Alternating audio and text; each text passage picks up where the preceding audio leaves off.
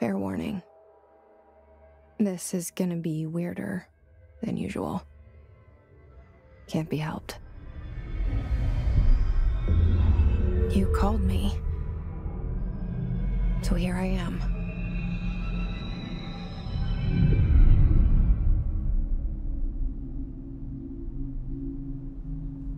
I know I shut you out sometimes. I'm always glad to hear from you. It's just that I get my hopes up. So many times it's led to nothing. I found nothing. It's like we live in a room, and there's a poster on the wall. We stare at it and we think that's the whole world. The room and the poster. The picture's something nice. A landscape, a famous person. Like in that movie. What is it called? The prison movie.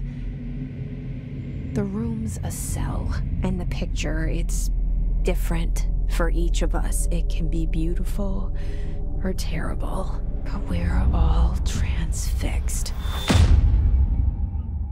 But it's all a lie. Something to distract us from the truth. They're lying to us. We're lying to ourselves. The room's not the world. The world is much bigger and much stranger. There's a hole hidden behind that poster that leads to the real world. We all feel safe in that room. But sometimes, sometimes something crawls out from behind the poster.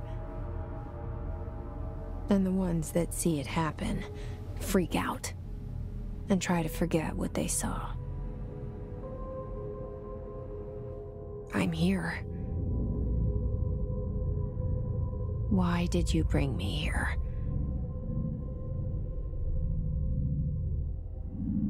Hello? Anyone here?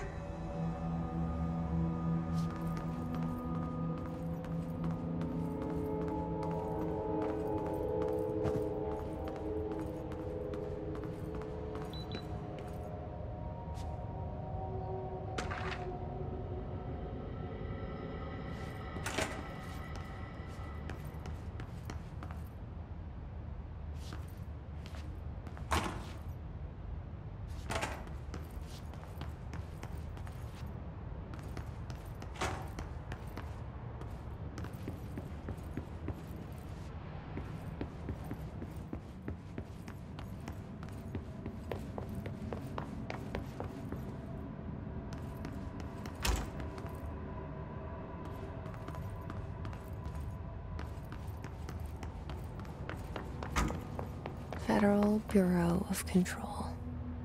All these years I've been looking for them and they were hiding in plain sight.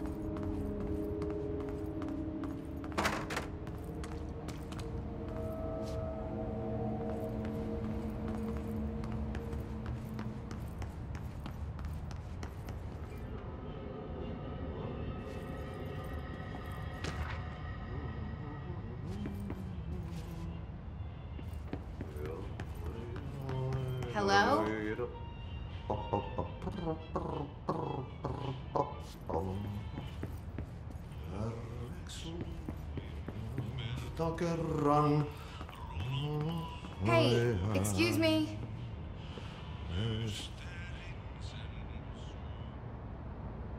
There you are. You are here about the job. Uh, janitor's assistant. You need to go to the interview. Go that way to the elevator. Thanks. Elevator that way. Got it.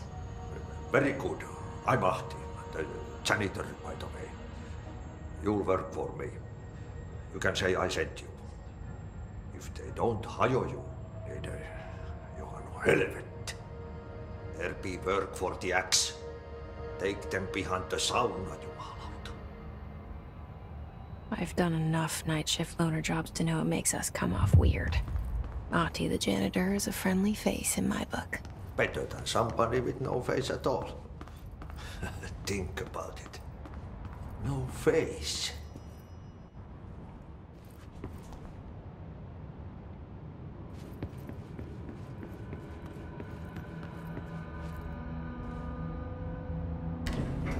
The cell. And the poster.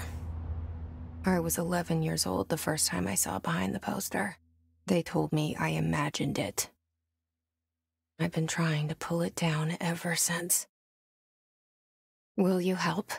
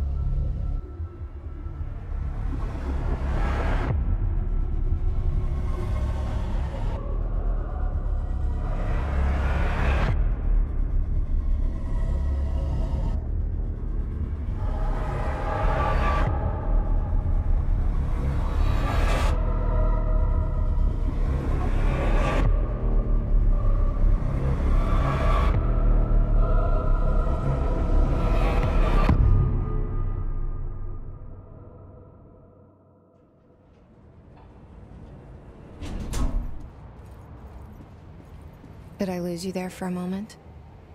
You know what's on my mind. My baby brother, Dylan. 17 years since the men of this bureau took him.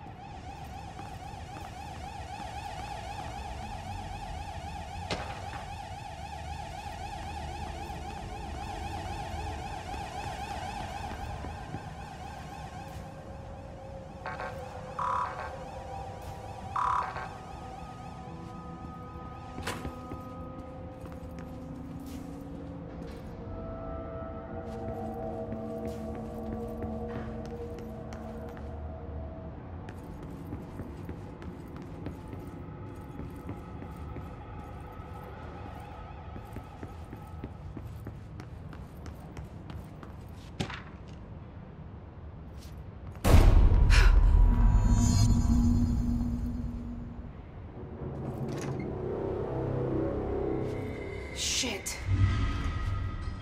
Shit, shit, shit. You want me to pick it up? The murder weapon? Really?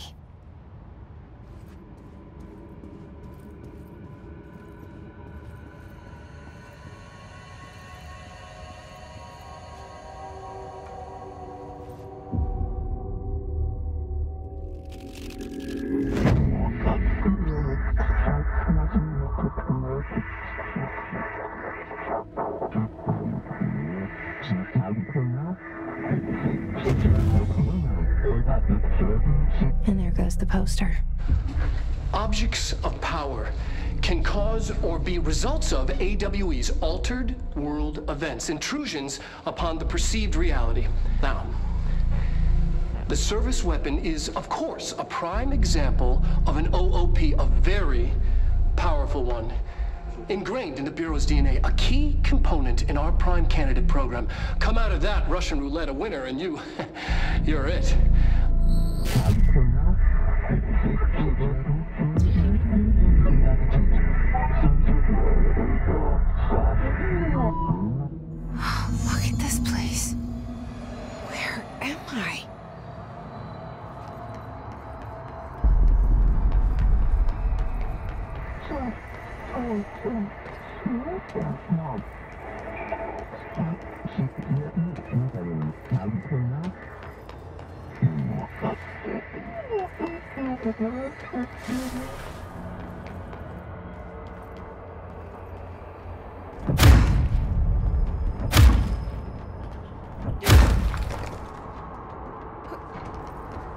The same gun.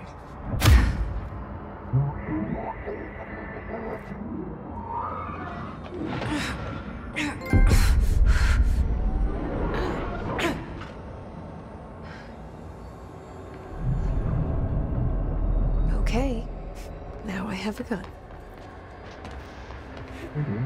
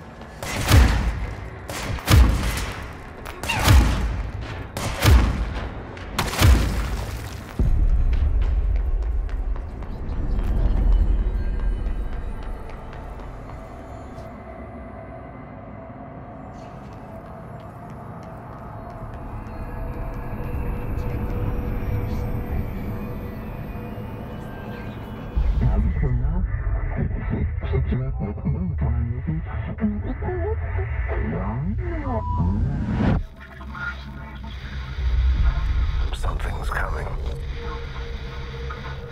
This threat. An attack. Duty as director. Keep the Bureau safe.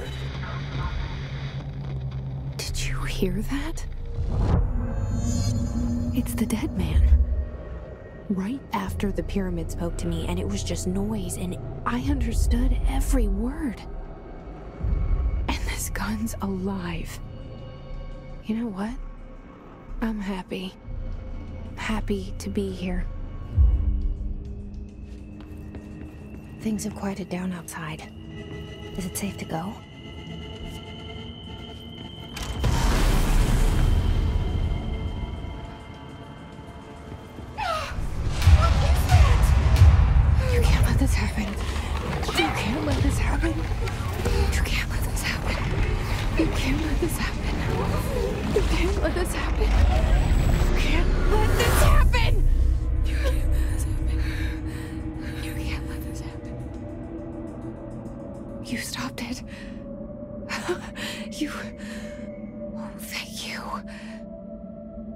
Was. horror.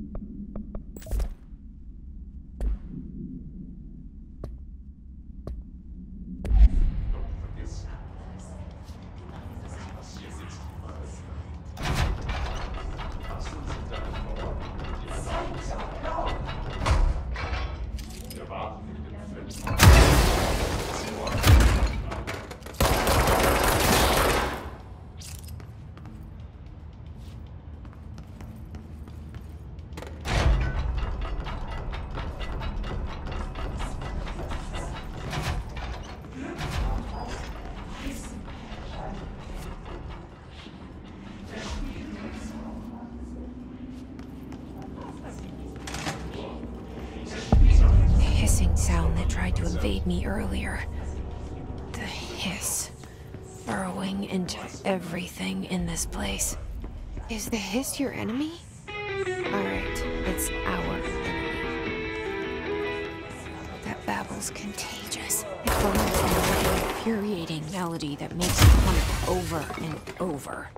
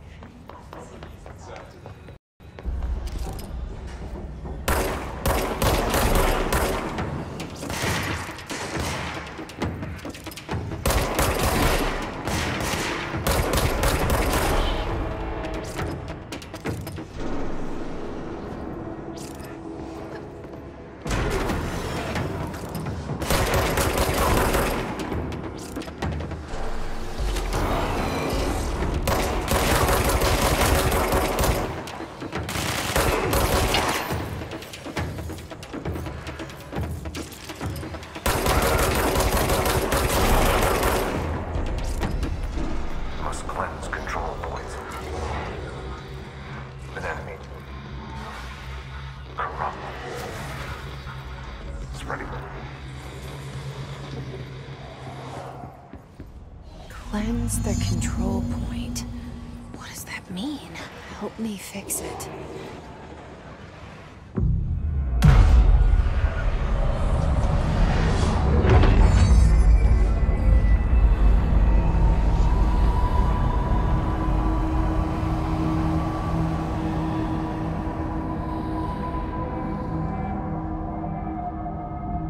Holy shit! You did it!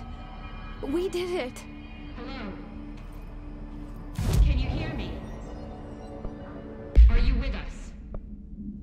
The Bureau?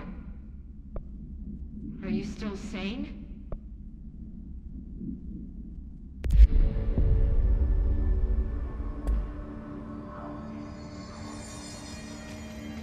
Please, talk to me. We saw you deal with the compromised agents.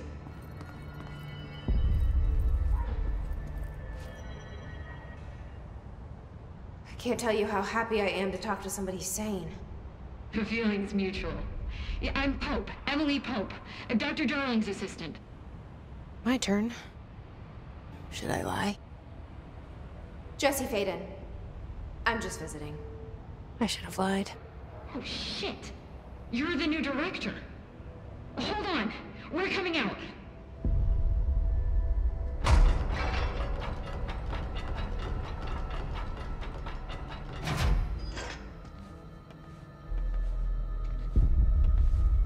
Director Faden.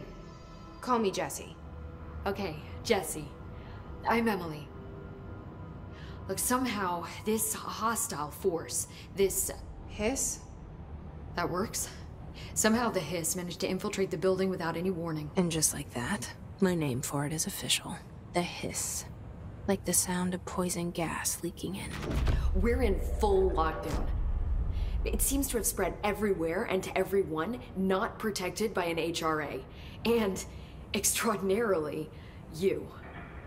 You are the director, and that makes you special by definition. Trench is no longer the director, obviously. Uh, I'm sorry, I'm talking too much. This whole situation is just a lot.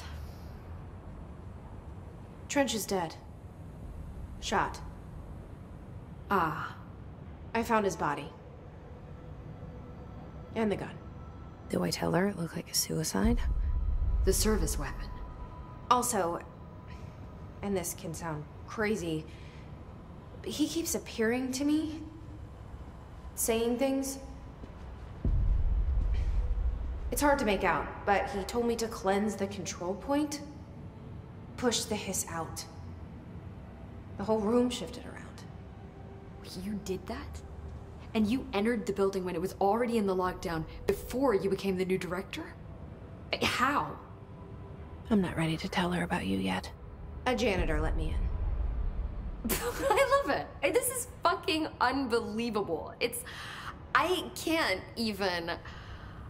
Look, Jesse, I have a million questions, and you probably have a million more. Like, do you know my brother Dylan? Not yet. But there's something I need to ask you to do first. If you can cleanse a control point, then you can maybe cure those infected or possessed by the hiss. Because if that's possible, our options are very different. Emily Pope. I don't know her, but I like her already. She's the opposite of the faceless agency I've blamed for what happened to me for so long. But I can't trust her yet. Or rather, the Bureau she's a part of. Yes. I can try. I'm speaking for you, of course. We can try it together. Okay. You with me? We did it before. Push the hiss out.